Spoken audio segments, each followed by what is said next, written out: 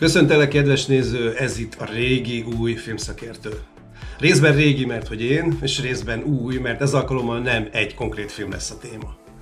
Bunyik Béla barátom ötlete alapján, aki nem mellesleg a Los Angeles-i Magyar Filmfesztivál alapítója és szervezője immár 20 éve, úgy döntöttünk, hogy az óceán túloldalán élő és alkotó honfitársainkat igyekszünk egy picit közelebb hozni az óhazához. Megmutatni mivel és miként foglalkoznak, hogyan öregbítik a magyar film, a magyar filmesek hírnevét a nagy messzi Amerikában. Első alkalommal Szabados Mihályjal beszélgetek, akit Koltai Robert Sose hallunk meg című filmjéből imi karaktereként ismernek, szeretnek a legtöbben a hazai filmrajongók közül. Miska tíz éve döntött úgy családjával, hogy Kanadába, Torontóba települ, ahol a filmek és a színpad iránti szeretete ugyanolyan töretlen maradt, mint pályája kezdetén. A színpadot van, hogy magának teremti, és több darabbal is lakásszínházi előadásokat tart, de ha kell, oktat is, és minden alkalmat megragad arra, hogy filmes és színházi ismereteit és tapasztalatait szélesítse. Kanadai munkái közül a Murdoch rejtélyei sorozatbeli alakítását emeli ki legszívesebben, de ma már a kamera mindkét oldalán otthonosan mozog, és számos kisfilmet rendezett vagy komplett alkotóként jegyez. Amikor kedvenc olvasó sarkomból felhívtam Bordán Lili One Night Only című kisfilmjéről, az annak születése nyomán az amerikai kontinensen élő magyarokat összefogó alkotói kezdeményezéséről, és természetesen az Oscar díjról is beszélgettünk. Jó napot kívánok! Jó nagyot kívánok én is! Sok szeretettel köszöntjük kedves nézőinket! Mondanám, hogy fáradtnak tűnsz, mintha nem a régi volnál, de ebből semmi nem igaz, úgyhogy azt tudom mondani, milyen jól nézel ki, csak hova lett a kalapod, most nem látom rajta. Hát most nem találtam meg. Kalappal készültem tegnap, de reggel nem találtam meg. Köszönöm szépen. Hát, szerintem minden attól függ, hogy éppen milyen pillanatban kapja el az ember. Tehát, vannak, tehát ez egy ilyen hullámvölgy most fönt lent, és most éppen egy jó paszban vagyok, de volt egy pár hónap, amikor nagyon nehéz volt, nagyon rossz volt. Covid-dal ott se könnyű ezek szerint?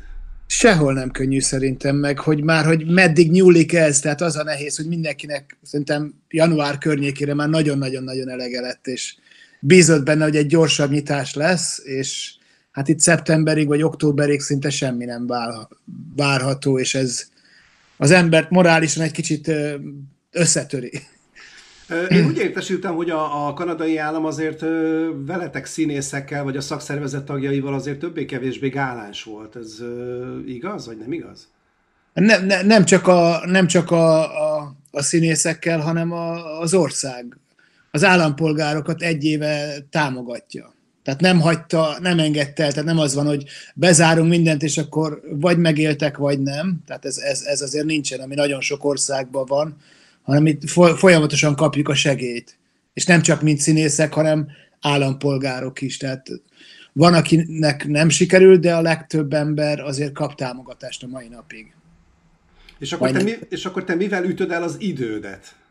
Hát szerintem alkotói, lát... foly, alkotói folyamat van ilyenkor, vagy...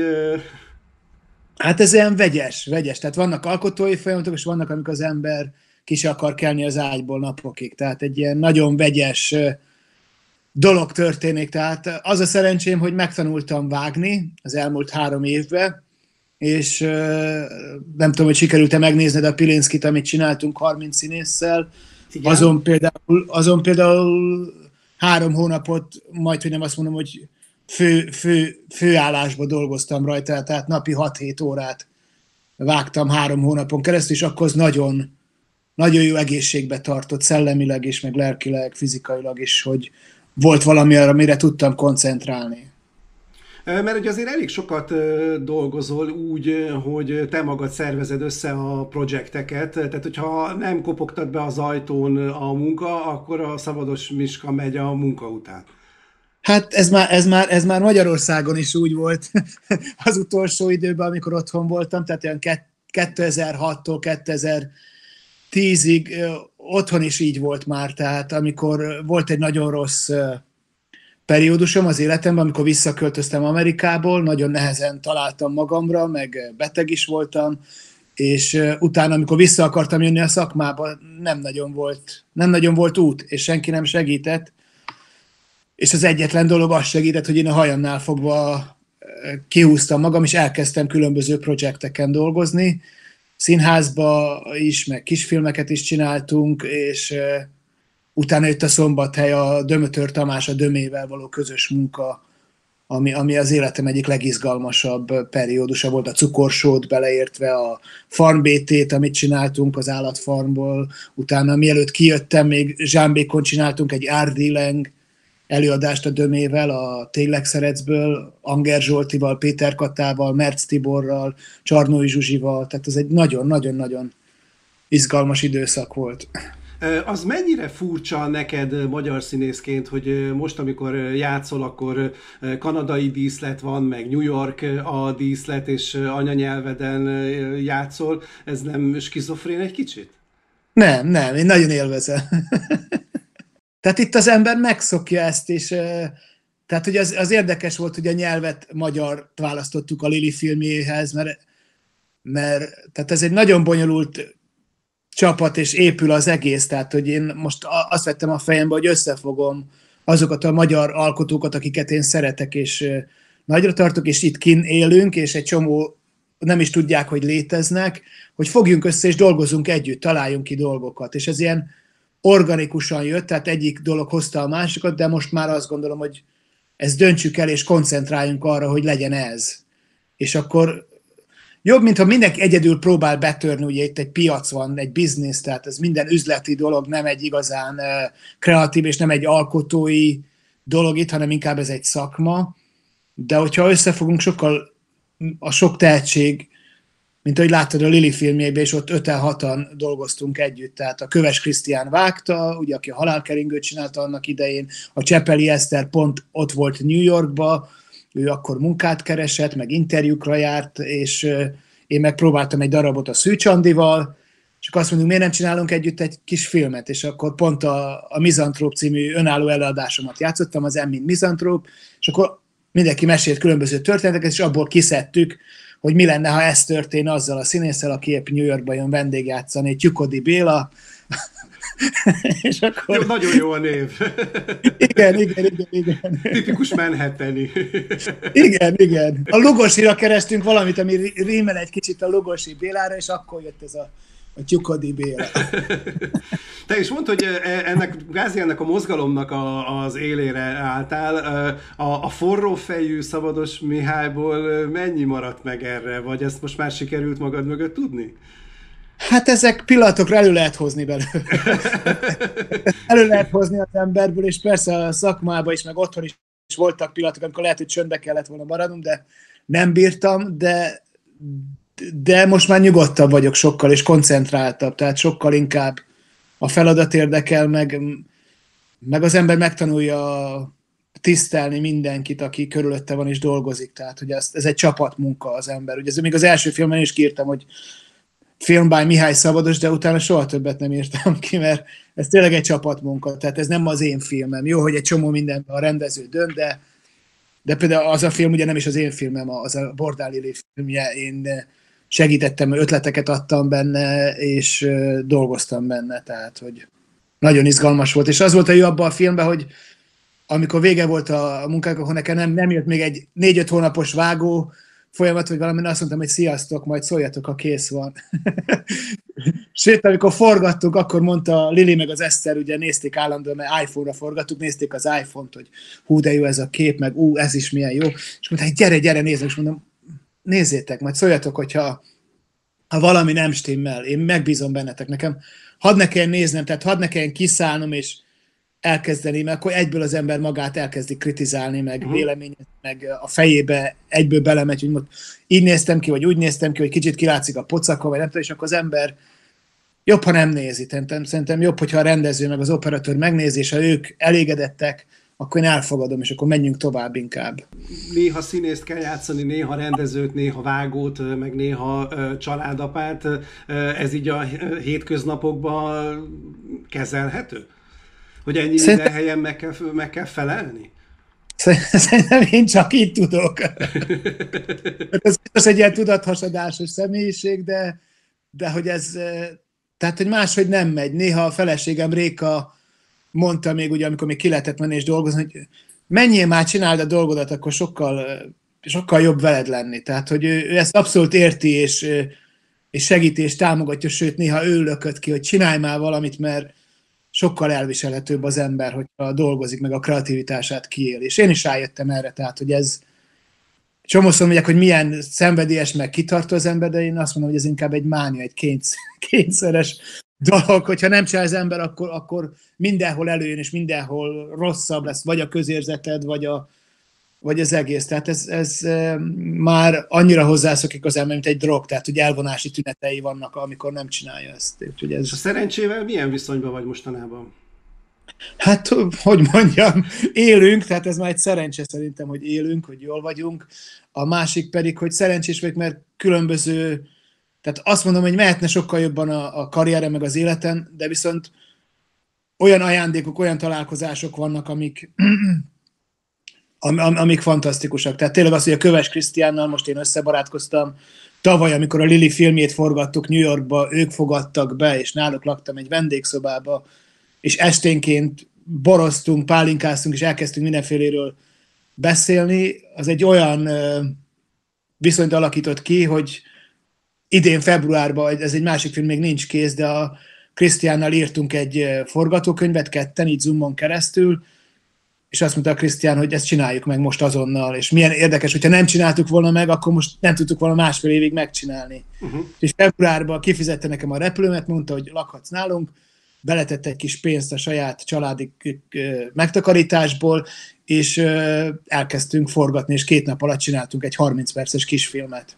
Uh-huh és ez is annak a barács, annak a hozadéka lett, és mai napig hetente legalább kétszer beszélünk a Krisztiánnal is mindenféle dolgokról, és írtunk most egy nagyjátékfilmet, van még két másik ötletünk, amit szeretnénk csinálni. Úgyhogy ez ilyen tök jó. Mondtam a Krisztiának, hogy ő lesz az én Tarantinom, és én leszek az ő Krisztof Valca. Te mesélj már egy kicsit a Pince stúdiódról, vagy a Pince színházadról, ami az alaksorban van. Igen, tehát nekem ez egy régi vágyam volt, hogy akartam egy filmstúdiót mindenképpen. Igen. Három hálószobás lakásban lakunk, van egy kis kert, van mögötte egy nagyobb kert, egy másik kóappal közösen, és van egy pince, ami elég nagy, tehát elég nagy a területe, és akkor megbeszéltem a Rékával, tehát egy ilyen közös megegyezés volt, hogy kialakítunk egy részt belőle, az egyik része ugye tárolásra van, a másik része pedig egy ilyen filmstúdió slash tévészoba slash hogyha Réka akar jogázni, vagy ugye volt róla szó, hogy tanít megint jogát, mert Magyarország az egyik legjobb jogaoktató volt, hogy akkor használjuk ezt. És akkor direkt építettem egy falat például, ami két könyveszekrényre ráraktam ilyen falakat, és lefestettem különböző színekre, a, a, kibontottam az egyik ilyen téglafal van, azt lefestettem, ami nem tudom, hogy láttad de ugye a Next című film az ott készült, meg, meg ott már négy-öt kisfilm készült, de közben a, a lakás... is ott forgattad, nem? A Pilinszkinek az én részeimet is ott forgattam, és azt a falat használtam mindenkinek a hátterére. De a gyerekkel, ugye mi ketten forgattunk itt, a gyerek meg én az ott vettük föl, igen, és tehát, hogy különböző dolgok már ott születtek, meg, meg próbálni is jó tényleg. Tehát amikor már tényleg az agyam tele van, és nem bírom a feszültséget, akkor lemegyek, és akkor a, a mizantrópot ott lent üvöltözöm egy másfél-két órán kész, és akkor kijövök, megnyugszom, és akkor az olyan jó. Tehát, hogy ez, ez, ez fantasztikus, meg manapság már ugye mindenhol, főleg most, de egy pár év elkezdődött ez a self-tape, tehát, hogy mindenki saját magának kell saját magának, hogy a castingra megy egy válogatás, akkor azt kérik először, hogy vett föl videóra, és akkor megnézik, és az alapján döntik el, hogy ki az a három-négy ember, vagy öt ember, akit a végén behívnak. Tehát, hogy már nincs ez a személyes, sőt, most már ugye a legtöbb casting Zoomon történik, tehát, hogy nekem is volt hogy a rendezővel, meg a casting direktorral Zoomon keresztül kommunikálsz, és amikor még nem volt ez a járvány, akkor csináltam egy ilyen kis, tehát, hogy self-tape stúdiónak is használtam, és a környezetemben lévő színészek, akinek mondjuk este tízkor kellett megcsinálni, az átjött, és mondtam, hogy persze, én nem alszom. Tehát én nyitva vagyok este tízkor, és nem négyig, mint a legtöbb ilyen self-tape stúdió, vagy akár hajnalba, hogyha ment munka előtt, és akartam megcsinálni, nekem mindegy, bármikor fölkelek, megcsinálom, kérte kis, kis pici pénzeket, és akkor hozott be egy ilyen kis pénzt is. Ugye persze ez egy másfél éve nem megy, az se. Egyébként Toronto az mennyire van távol úgy érzetben Hollywoodtól, mert azért mégiscsak az egyik legrangosabb észak-amerikai fesztivál, ugye a Toronto Film Fest azért mégiscsak a városban van, tehát hogy mennyire van a filmes körforgás jelen a városban?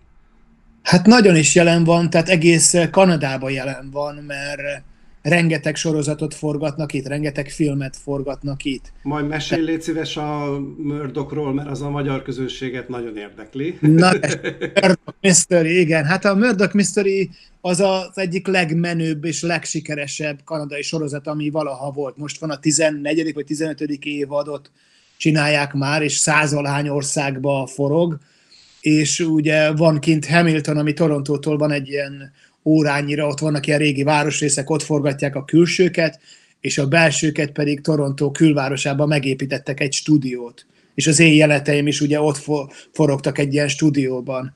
És vannak állandó díszletek, tehát egy ilyen nagy, nagy, üres ilyen gyárat kell elképzelni, gyárépületet, Például ott van ugye a Bonsterem, meg a Vallató, meg a rendőrség, vagy az a hotel, ahol már most laknak egy pár éve, vagy a ház, azok mindig meg vannak építve, és egymás mellett, tehát ilyen egyperces sétára mész, és be lehet nézni. Tehát az egyik legfantasztikusabb volt, hogy ott végig a sétálattam az, az nézni ezt, hogy építették meg, és minden be van világítva, iszonyú gyorsan dolgoznak, tehát nagyon-nagyon gyorsan dolgoznak.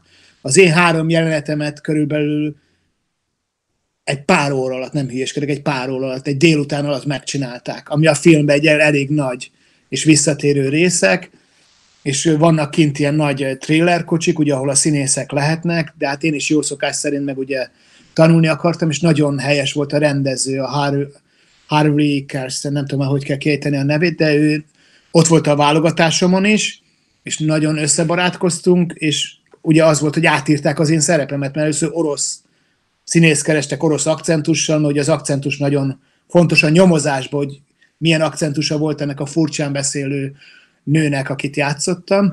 Ugye nem akarunk előni és akkor akkor amikor kiválasztottak, akkor átírták a szerepemet magyarra, hogy magyar akcentusról beszélnek benne, és Szabó lettem, tehát nem Grigorin, vagy nem tudom mi a legtöbb filmben Grigori, vagy Iván, vagy Szása, hanem akkor Szabó lettem, és akkor a Szabót keresték már. És, és milyen, gyakran, milyen gyakran állsz úgy kamera elé, hogy nem a saját projekted? Hát ez, ez nagyon változó. Az elmúlt elmúlt években mondom ez, hogy összebarátkoztam a kinti magyarokkal, a észak-amerikai magyarokkal, ugye volt most több film is, a Christian filmje, vagy a Lili filmje, de nagyon hiányzik ez, tehát ugyanúgy, mint a Murdochban, hogy ott vagy, és egy profi stáb, profi színészekkel, tehát utána például Thomas Kering, aki a Beckerit játsza, a rendőrfőnököt, vele órákat beszélgettem, és nagyon összehaverkodtunk és később abban az étteremben, ahol pincérkedtem, jött egy párszor kajálni, és akkor mindig oda hívott, meghívott, dumálgattunk. Egy nagyon helyes pasi, ő egy angol színész, aki amikor nem a mördokot csinálta, akkor mindig ment haza, és közben színházi előadásokat csinált Londonba, és akkor a színházról beszéltünk órákig, és akkor kérdezte, hogy hogy van az, hogy te nem izgulsz? Tehát a legtöbb ember, hogy elmegy egy ilyen, ugye úgy hívják a napi színész, ugye vannak ezek a day player, aki csak egy napra, kettőre van egy sorozatban, sokkal nehezebb dolga van. És mondta, hogy te hogy, hogy nem izgulsz, hogy egy csomó színész, aki jön, és egy napja van, és ott áll többiek, hogy nehogy elcsessze, vagy valami, akkor izgul. És mondtam neki, hogy home.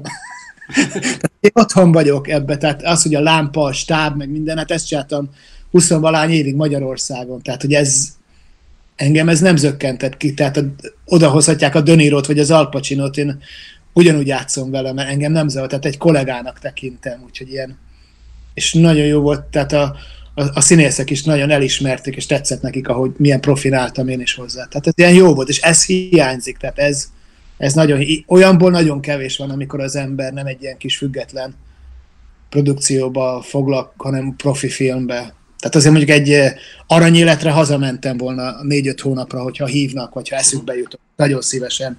Vagy akár a terápia. Nekem nagyon-nagyon tetszett a terápia például. Uh-huh.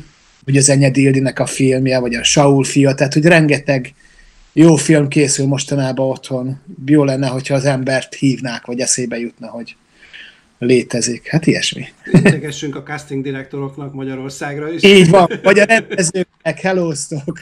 Hát a Dömötör Tamással egyébként beszélek többször, tehát ő, ő, ő vele nagyon szeretnék dolgozni a cukorsó óta, és volt rá terv, hogy majd dolgozunk együtt, tehát hogy az mikor valósul meg, azt nem tudom.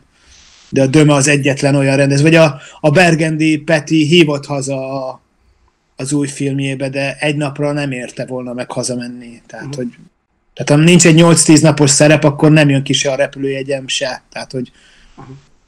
azt mondtam Péternek, hogy nagyon szépen, ha otthon lennék szívesen, tehát engem soha nem zavart, hogy kis szerep, nagy szerep, soha nem érdekelt. Uh-huh. Ha egy jó szerep volt, akár egy napos, én otthon is mentem, tehát, hogy ez, én nem csináltam ebből, lehet, hogy ez volt a baj, nem csináltam ebből problémát, tehát vagy eljátszok főszerepet, vagy kis szerep, nekem mindegy, hogyha, vagy egy főiskolás film, ugye. Hát itt rengeteg főiskolás filmben, meg uh, diákfilmben dolgoztam, tehát van vagy 35 kisfilm, amiben főszerepet játszottam itt. Tehát, hogy uh, én leszek az a magyar színész, aki a Guinness könyvben egy bekerül legtöbbet angol nyelvű kisfilmben szerepelt.